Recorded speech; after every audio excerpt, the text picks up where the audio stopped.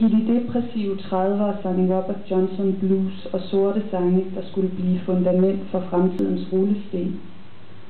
Han solgte sin sjæl til djævlen i et mudret vejkryds og gik med sin guitar på ryggen videre ud i verden og over i historien.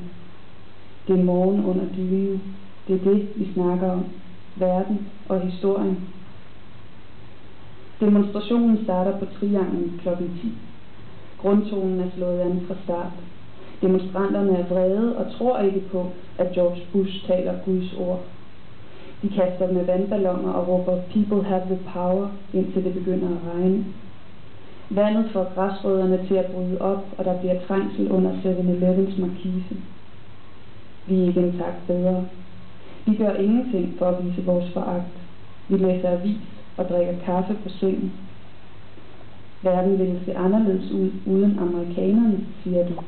Men jeg ved ikke, om du tænker på rockmusikken eller den politiske situation i dag. Jeg får ikke spurgt dig.